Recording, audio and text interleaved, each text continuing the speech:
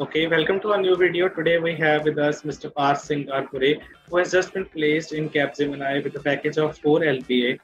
So welcome Parth, welcome to our video. Hi sir, thank you. So Parth, first of all, I want to congratulate on getting placed uh, to such a big MNC and starting your career with Capgemini. So can you please tell us more about yourself? Uh, my name is Parth Sringarpure. I was uh, doing my uh, bachelor's of engineering from Pillai HSCF College of Engineering. I done my BE from co computer engineering in computer engineering, and I recently got placed at Capgemini. Great, great. So uh, the first question Parth is from you is like, uh, was it an on-campus drive or off-campus drive? Uh, it was an on-campus drive. Okay, so it was an on-campus so now Parth will be discussing each and everything about this drive, which could help our upcoming batch also to gain some knowledge about Capgemini and its hiring process. Okay, so I require you to just uh, discuss everything in detail with us. Okay, so starting with like how many rounds were there? Uh, basically, there were like uh, five rounds for aptitude test. For for first 30 minutes, there there was like uh, pseudocode test where they gave us like 30 questions and they gave 20 minutes and that that was elimination round. And once you will just uh, score up to above 70% then you will just get another round that was verbal round. Same 30 questions and um, uh, 20 minutes. And in verbal round there was like um, passages also. There was big big passages and simple questions too. And once you will clear this both round then you will just uh, put forward to um, gaming aptitude. They gave us some puzzles and everything. They just gave like four to five puzzles to solve uh, in minimum amount. And after that they gave me like behavioral competency. That is the they will, they will ask uh, several questions about me about my they will give me some situations like if there is some some conflict in office and how you will hand, uh, handle. Uh, this was my aptitude uh, aptitude round and after that they called me that you are you are selected selected in aptitude round and you have to give one coding test. So okay. that that coding so, test was after one to two weeks. basically there's all uh, these five sections. There we can say it as uh, five sections for the first round only right? So, yes yes that was first round. So, uh, like you mentioned, there was five different rounds, starting with quantitative aptitude, and then uh, following with verbal, English, and behavioral competency as well. So, can you just tell in brief, like, uh, uh like have you you have mentioned your first test? Okay, like it was for uh, 30 minutes, right? Yes. So, uh, what what type of questions were there? Like, were there an MCQ questions or like uh, writing part was there uh, and also if you can mention the topics as well like from which topics were the questions uh, mostly asked? Okay, so the 30 questions was divided into two. There were only MCQ, no coding uh, in first round. so uh, the 15 questions was related to uh, data structure. There were questions like uh, trees, graphs, and linked lists, like basic questions of data structure. And uh, after that, there was a pure pseudo pseudo pseudo code. Like they gave us some program, and we have to guess the output. That was 15. Uh, uh, 15 questions of that so this was the first round so it was simple uh, data structure and basic coding okay then after clearing your like first round so do you uh, were you were told any passing criteria of passing the first test or just generally like company hides it and you were cleared the test uh, after first round you're asking about MC after mcqs to verbal or, or entire com complete first round no, no, just first like first section. Uh, after the first section. No, so they didn't give. So they didn't give any criteria, but uh, those who didn't score well, so they just disqualified them, and those who scored well, they uh, promoted them to next round. So they didn't ask that. They didn't show any results. Okay, so like uh, you started with you first of all had your like a pseudocode round. This was like a purely technical questions were asked on data structures right? And after that, like what was your second section in in this first test? Uh, so second section was verbal. Uh, the, they call as verbal competency something. So there were like questions like um, uh, simple uh, like uh, I told you about passages and uh, do and everything. Simple grammar like they asked me. Okay. okay. So like it was a basic MCQ test of English, right? The basic Yes, English. yes, yes. Yes. And after that, like clearing your verbal as well. Then, which was your third round, and what was uh, the Third topics round inside? was uh, the third round was gaming aptitude. That was bit challenging round. Most of my friends got disqualified in that round, and there were there were like several puzzles. Like uh, there are typical uh, Capgemini's puzzle, like how you will solve. They, they they were checking about problem solving skills uh, using that round. So everyone got random puzzles. Now there was not any fixed puzzles that everyone will get same puzzles. So that Any was one, any one or two puzzles you want to share with our audience? Like, well, just give an overview. Like, what kind of puzzles were there? Were, was there technical puzzles or like aptitude puzzles, basic, like solving the no, no, cubes? there, or- there, there was uh, no, no technical puzzles. There was just aptitude, aptitude puzzle. Like uh, they will give you one ball and you have to pass that ball through one hole. And how many steps you will take to just uh, uh, uh, take to solve that puzzle? Like for example, there is one ball and there are like 10 squares. And uh, how many steps you will take to uh, uh, reach to that goal? So such types of puzzles are there and it's like uh, six to seven months i can't recall every puzzle what i solved but yeah they No, were simple no sudoku issue. there was sudoku round like Okay, okay. Sudoku was there. So it was full of like brainstorming, right? We can say like that. yes yes yes So after clearing your uh, third, yes, yes.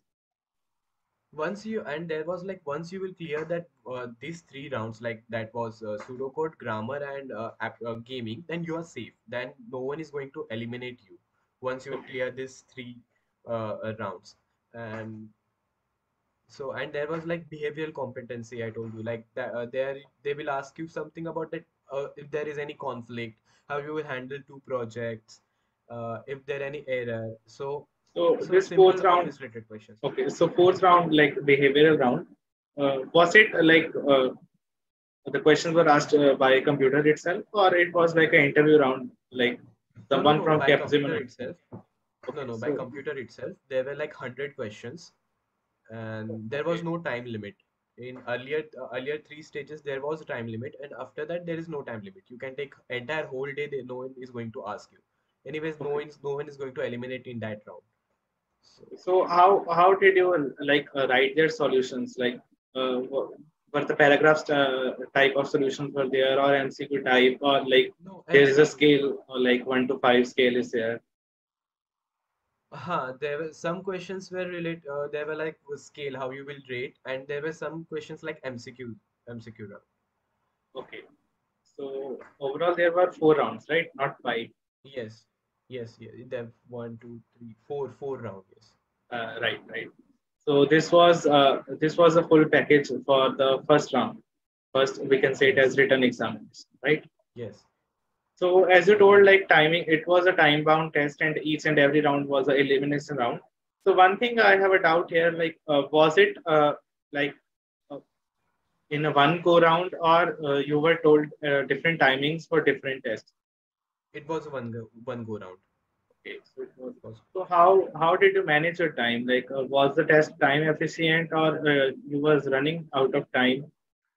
Uh, no, because of talent battle and because of the talent battle preparation kit, I was like trained to solve uh, MCQs fast, in pseudocodes fast. Then uh, like talent battle uh, helped me to improve my skills. I should I I don't need to take pen and paper to solve. I can just uh, read and answer them. Because of that, it was uh, easier for me to solve the MCQs. And because of talent battle, some practice questions, most of the questions were repeated like they just Yeah. changed some values so that was easy for me to grasp and just to solve and so i completed I, I actually i got more five minutes to just think and just check everything because of this training Nice, nice. So as we say, the practice makes a man perfect, and that has been uh, truth in your case, right? So you have been practicing a lot with talent battle, and that helped you for cracking the Capgemini. sure yes So uh, after clearing your first test, right? Uh, then interviews were conducted, or uh, there was uh, like a PPT round by the company. Uh, any other rounds were there? Uh, after my uh, after my aptitude round, uh, so, so there was one coding round. Uh, Okay. uh, the company asked me that uh, if you want to uh, get more big package, so you should just uh, apply to this round, uh, coding round. If you will solve the all three codes, then we will just uh, uh, give you hike. So Okay. there was one round. So I cleared that round. There was like three questions of uh, three questions. You can choose any language and after once you will clear that round uh, then you will get call for an interview and Okay. uh, only like five to six uh, candidates were uh, shortlisted for a higher package and unfortunately i didn't get that uh, 7.5 lpa i uh, i got 4 lpa Okay. The package for the highest uh, highest post was 7.5 LPA. 7.5 lpa yes So uh, after solving all the three codes, like uh, what was that one thing you missed? uh, after that there was one interview interview and uh, he just started asking me questions related to data science and machine learning even i told him that i don't know much about data science and machine learning you can ask me any questions related to core coding or python and uh, python and c++ but still he was going uh, going on with data data science and Okay. i guess that was the that was the thing that i got 4 lakh uh, package uh, but when uh, I stopped him and told him like, sir, uh, with respect, uh, I don't know data science and machine learning. You can ask me anything. So he asked me, what do you know about Python? I can I told like I have done many projects in Python. So we discussed uh, about my projects. Uh, later on, he asked me which technology you know more uh, rather than Python. So I told database. So he asked me several questions related to database. A- and uh, that was simple. And uh, my interview went for like one hour. Uh, Okay. first, uh, first he asked me to introduce myself, uh, and uh, then he asked me about my projects, and then he went for data science. I told him I don't know. Then he asked me questions related to Python. Then he told me to share my screen, and he gave me some questions to solve. Like uh, I remember, he gave me one data structure related question, uh, and I have to solve. I solved that, and after that, uh, uh, I we went to database and they he asked me to fire some queries like he gave me some situations uh, and to write the SQL queries. And after that he was like okay now HR will contact you. But uh, there was no HR round for me. He just asked me about what is what are your hobbies? And I told him like wildlife but he was least interested about to for that uh, HR questions. He was just asking me about technical. Anyways that was 7.5 LPA round. So Yes. those who got uh, interview for 4 lakh package, that their uh, interview was bit easy. They, they just asked about simple questions, uh, oops concepts. But I was giving 7.5 LPA, so uh, my uh, interview went for like one hour. Okay. So it was a huge round of interview. Like it lasted for uh, one hour, as you said, One hour. Yes. and most of the questions were technical based, right? The the interview was not interested in asking as a type of questions, and there was uh, no HR round in the whole process. no. HR round for me. Yes. I just uh, Maybe directly got the mail that you did it and you are shortlisted in Capgemini. Can you tell us like uh, uh, what happened with your friends, like those who were giving the full LPA uh, type of interviews? Was there any HR round for them, or just a single round, like There mix was a of both? single round. There was a single round. They just asked some some technical questions and some HR questions. But uh, I remember like 400. There were like uh, 400 candidates, and Capgemini just select like 50 candidates. Okay. And among them, there were like four candidates who got uh, 7.5 LPA. And I just want to clear something to uh, to our audience. Like uh, even if you clear the aptitude round, if you, even if you think that you uh, reach till behavioral competency, there is no assurance that you will get interview call.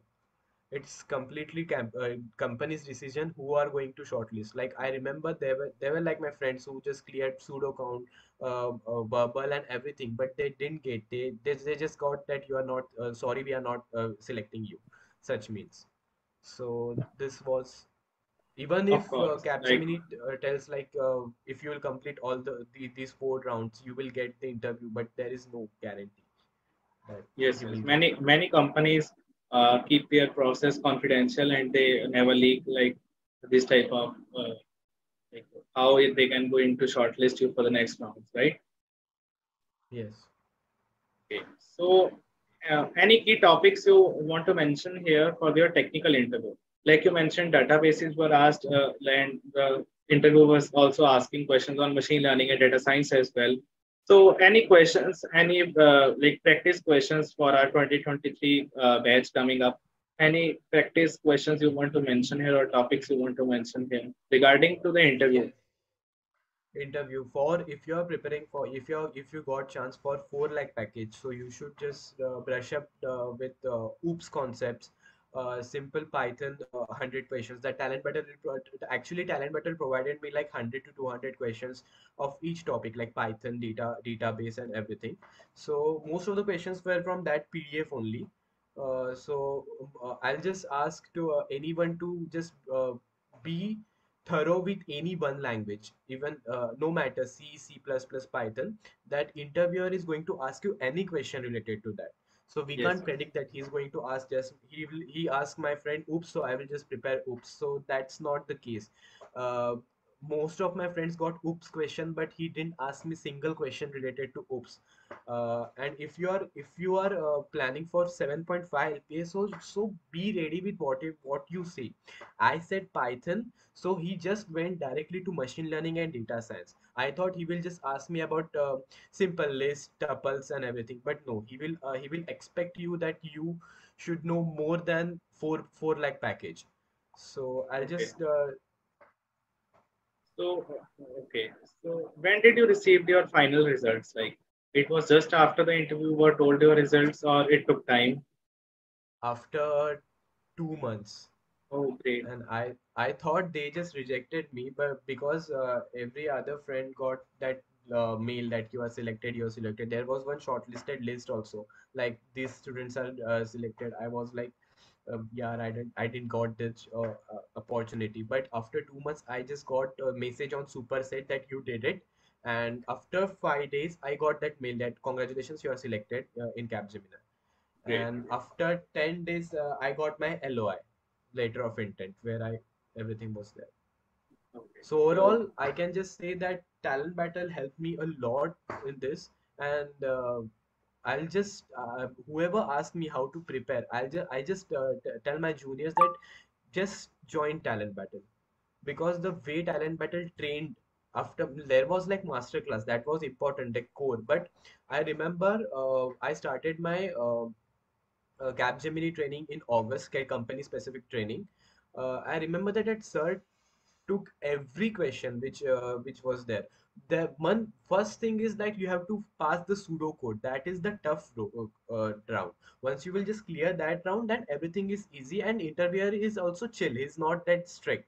But that pseudo code round is tough round. Questions are easy, but time there is a time limit. So with the help of talent battle and with the help of that test, talent battles test, it was easy of easy for me to do this.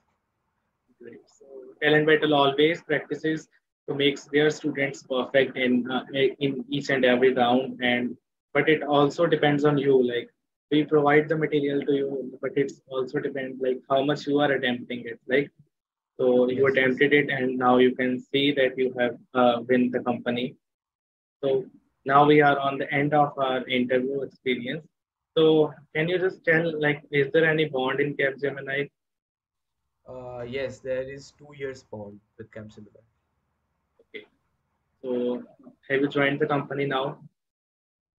Uh, right now, tomorrow is my final uh, final exam. Like uh, once you get you once you get placed in Capgemini, there there there will be like two exams that adapt exams. I don't Okay. think that they, they will affect onboarding process, but yeah, they will just build up your profile. So tomorrow is my that exam, and once I'll just complete that exam, I'll just get my onboarding and everything details that where when I'm going to join the company. Okay. Okay. So like uh, each and every company takes their exams uh, after uh, hiring also uh, because uh, they may be allocating you projects, right? So Yes. they get a criteria like for which project you can be allocated in the starting. Yes. So last one question to you is how did you handle uh, like the whole patience uh, and your like how did you tackle with the impatience? Uh, like you you had a huge time between your last round of interview and your results like it was huge two months. So how did you tackle your impatience and what did you practice in that time and what uh, what is your advice to our juniors to be like how they can be in this process? Uh, I, I I was not like uh, okay I just gave this interview and I'm done with my uh, placement process. No I, ju- I just uh, I applied to many more companies and I just kept like one company for like safer side and that was Wipro. Uh, I got selected in Wipro too but okay. as I got placed in Capgemini my uh, college there is only one co- one student one company policy. So but I was keep on prac I was keeping my practice and I, I started doing the data science and everything where, where I lacked where the, yes. interviewer asked me so i just started to brushing up that skills. Um, and after that one month so i got my results and i was like chalo ho gaya so nice nice. Okay. So at last anything you uh, you would like to mention or any tips uh, for our upcoming batch? How should they prepare for this placement season? Uh, i'll just give one tip that please be thorough with one language you don't need that you don't need to show like you're good in five to six languages. Uh, even if it is C, no problem but be thorough. Please try to make some projects. Like interviewer is uh, greedy for projects. He is going to ask you about the projects what you did in projects. If you get chance try to do internship. So this will just give you add-on advan- advantage in your uh, play uh, placement journey.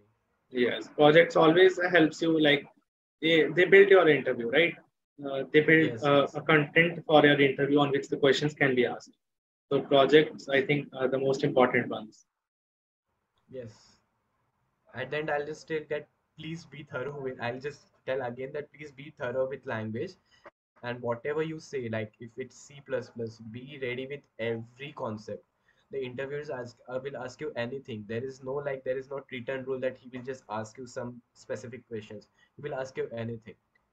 And uh, because uh, talent battle helped me that i took that pre uh, interview at that uh, uh, talent battles. So that was beneficial for me. Like okay. So thank you, Parth, for being with us and discussing about her placement journey. And uh, we again congratulate you on uh, joining the Capgemini. And also, you told in your interview like you also cracked Wipro as well.